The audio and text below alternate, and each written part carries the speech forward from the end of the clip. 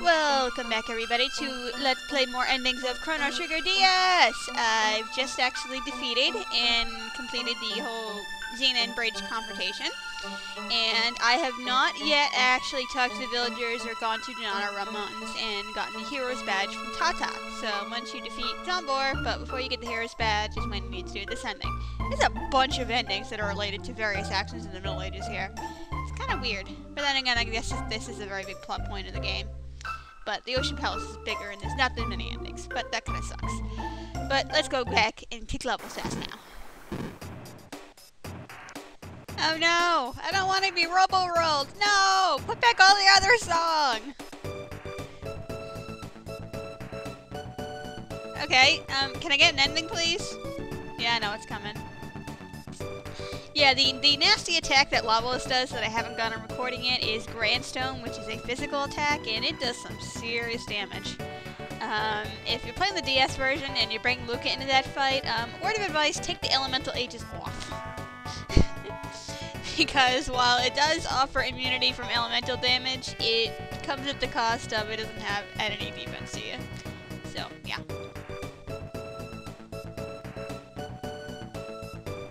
Hey, wait a minute, this scene looks awfully familiar. Why didn't she lose her bow, though? That's not an accurate depiction.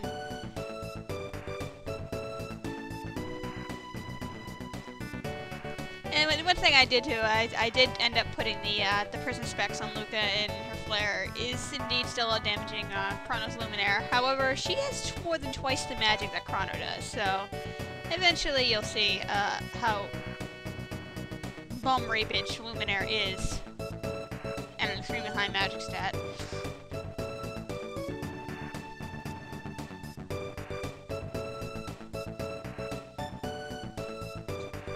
You know, the, the, previous ending, which was pretty much nonsense, had more action than this one. And they're robots. Like, seriously, they're robots. I mean, don't get me wrong, robots are cool, especially if they're giant robots, but at the same time, they're robots. They're not human. That's what separates us. it kind of frustrates me when too many robots get hum too, too many human traits. Wait, wait, wait, wait, what is Tata doing sitting on that throne? What? Who, who said he could sit there? What's going on now?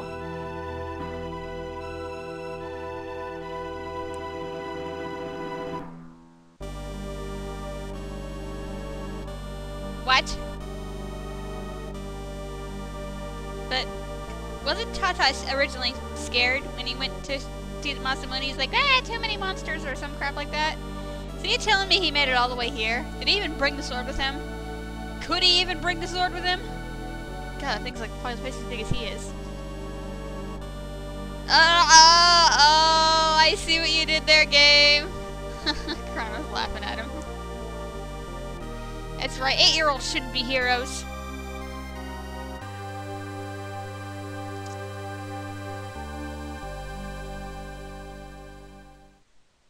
You know, why were they playing the Tyranno Lair theme in there anyway? I just realized that. oh well.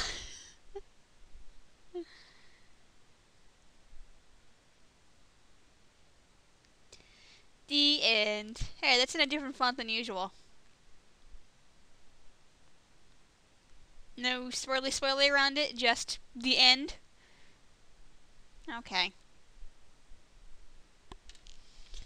And there is ending 6, the legendary hero. Overwrite my data because we don't want to lose that crap. Yes, we want to return to the title screen. And load that file. Yeah, notice we're like two hours into the game. and I've already like got to the point where I'm about to get the Masamune. Ah. Right here.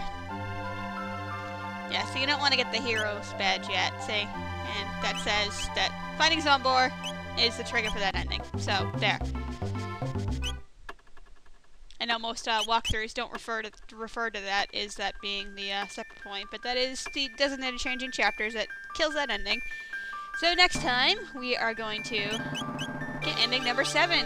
Wow, what a concept, huh? Gee, we did, we did three, four, five, and now six. I wonder what's coming next. Uh, maybe, maybe we should do ending 12, huh? No, no. No, that's stupid. And lame. Good night.